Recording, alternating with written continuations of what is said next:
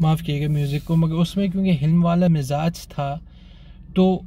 ان کا سلوک جو تھا اپنے غلاموں کے ساتھ، جیسا حضور صلی اللہ علیہ وسلم کا خود تھا، وہ تھا پیار محبت کرنے والا، تو وہ جو غلام تھے، وہ اس معنی میں غلام نہیں تھے جیسے امریکہ میں غلامی تھی ایک زمانے میں۔ تو ان کی ختنہ اس وجہ سے تھی جیسے زید ابن حارثہ حضور کے گھر میں ان کے بیٹے کھلاتے تھے کیونکہ اصل میں یہ جو پاور ڈفرینشل ہوتا ہے اس ریلیشن شپ میں، ایک پر اخلاق آدمی کے لیے یہ ایک تقریباً جو ہے بیٹے اور مطلب ایک والد اور بیٹے کا جو رشتے ایسا بن جاتا ہے۔ تو اس وجہ سے یہ جو آپ غیر ابراہیمی خون عہد امامت کی میں پارٹیسپیٹ کرنے کے لیے جو ہے ختنہ کرواتا ہے، وہ وہ ایک طریقے سے، ایک طریقے سے بڑے واضح طور پر اس کی حقیقت یہ ہے کہ وہ ابراہیم کے گھر والوں میں، ابراہیم کے خون کی غلامی میں داخل ہو رہا ہے۔ آپ نے یہ سنا، سنی ہوگی بات کہ یہودی مانتے ہیں کہ جو ہے قیامت سے پہلے جو ان کا مطلب جو عدل قائم ہوئے گا مسیح کے ذریعے، اس زمانے میں تمام جو قومیں ہیں، وہ بحثیت مجموعی جو ہیں یہود کے یہاں غلام ہو جائیں گی اور مگر وہ اس غلامی کو پسند کریں گی۔ اس کا مطلب وہ وہ ایسی باجبر غلامی نہیں ہوئے گی۔ وہ کروائیں گے باجبر کیونکہ یہود بگڑے میں مگر آپ سمجھیں ان کی یہاں تصور یہ ہے کہ وہ باجبر نہیں ہوئے گی، وہ خود مطلب وہ خود سے وہ غلامی اختیار کریں گے۔ اور یہ ابراہیم کے یہ اصل میں وہ ہر چیز جو ابراہیم عام ابراہیم کی نسل کے لیے ہے عہد ابراہیمی تو ابراہیم کی نسل کے لیے قرآن میں بلکہ الفاظ آتا ہے کہ ہم نے عیساق اور یعقوب کو نفلاً دیا ہے، ہم نے با نفل دیا ہے۔ تو اصل حقیقت عہد جو ہے وہ اسماعیل سے تھا، کیونکہ وہ بڑے تھے، قربانی کے وقت وہ موجود تھے۔ عیساق علیہ السلام کی پیدائش کی جو خبر ہے، وہ عہد امامت کی ذیل میں دی گئی ہے۔ اسماعیل کی قربانی کا انعام جو ہے وہ عہد امامت ہے۔ اور عہد امامت کی خبر کے ذیل میں عیساق علیہ السلام کی موزانہ ایک ایک لطیف سی موزانہ پیدائش یا ہلکا موضاء کہنا ہے ہلکے موزانہ پیدائش کی خبر جو ہے، عہد امامت کی خبر کی ذیل میں دی گئی نفلاً ابراہیم علیہ السلام کو ایک نفلاً تحفہ دیا گیا۔ اصل تحفہ اسماعیل علیہ السلام تھے۔ اچھا تو حقیقت یہ ہے کہ غلامی تو یہود کی یہ عادت ہے کہ جو چیز ابراہیم کے گھر کے لیے عام ہے، وہ یعقوب کے گھر کے لیے کر لیتے ہیں،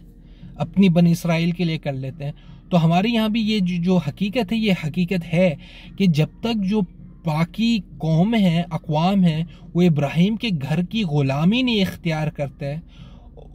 مطلب مزاجن جیسے حضرت سلمان سلمان الفارسی جو تھے، ان کو بھی اہل بیت کہا جاتا تھا، کیونکہ نہ وہ غلام تھے، نہ وہ مولا تھے مطلب رسول اللہ صلی اللہ علیہ وسلم کے، مگر مزاجن حقیقتاً، قلباً جو ہے وہ آنظور کے تعلق میں اور آنظور کے گھر والے ان کے تعلق میں غلامی میں تھے، حقیقتاً۔ تو اس وجہ سے ان کو اہل بیت، وہ اس مزاج کے ذریعے وہ اپنا کے اہل محمد بن گئے۔ تو جب تک جو ہے مومنین جو ہیں وہ اہل محمد نہیں بنتے اور جب تک باقی اقوام انسانی جو ہیں، اقوام مطلب دنیا کے اقوام وہ اہل ابراہیم نہیں بنتے اس غلامی کو اختیار کر کے آزادہ نہ اختیاری، تو اس وقت تک وہ والا نظام یہ ایک حصہ ہے، اقامت الدین کا ایک حصہ ہے۔ تو اس وجہ سے میں سمجھتا ہوں کہ ریلی اگر آپ کو مطلب ڈیوائن ہے۔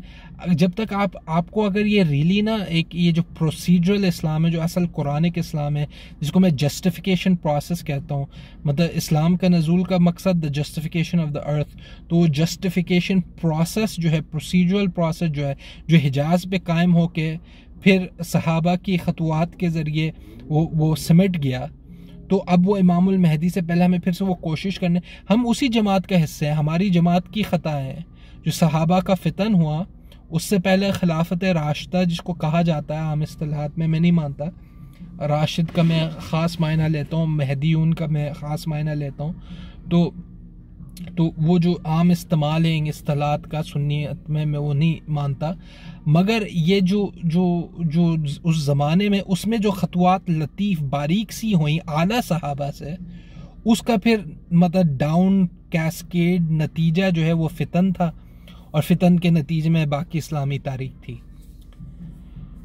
تو اب جو ہمیں دین کا قائم کر، وہ ہماری جماعت تھی، ہم اسی جماعت کا حصہ ہیں ہم اسی کوشش کا حصہ ہیں، ہم اسی محرکات کا حصہ ہیں، ہم تسلسل لگتے ہیں ہم اسی سلسلہ کا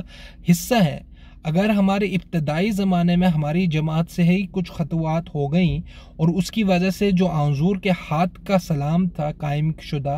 وہ ذرا ہل گیا یا وہ چلے گیا، تو وہ ہماری کوششوں سے واپس آئے گا۔ تو میں سمجھتا یہ ہوں کہ اس وجہ سے جو آنظور جو اسلامک ہسٹری ہے، اس کو آنظور کی سیرت کی روشنی میں اور آنظور کی سیرت کو خود پوری ڈیوائن ہسٹری کی جو لہ ہے پروفیٹک ہسٹری جو ہے، اس کی لہ میں جب تک ہم نہیں دیکھیں گے نا